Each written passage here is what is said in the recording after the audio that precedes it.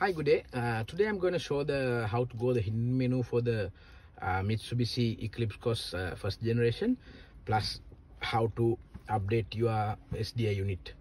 Uh, it's not uh, too hard, but for the update you have to go to delay and download the uh, software file.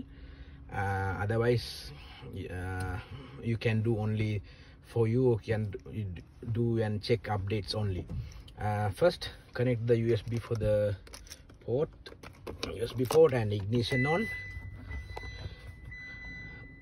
Uh, then just off the audio unit and press the in top front in the five seconds.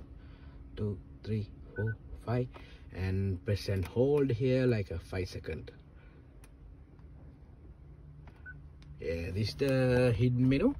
And this one you can see the video settings camera settings color check speaker check uh, talk check and touch check uh, communication check and can see the few things. Plus if you go next you can if you connected only you can see the software update.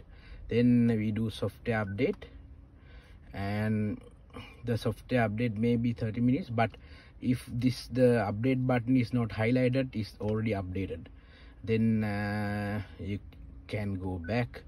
And if you want to you can check the uh, radio info software and this menu. And plus the this menu you can check the uh, touchpad control controlling data this everything you can check. And uh, now go back. This is the main menu thank you very much. Subscribe me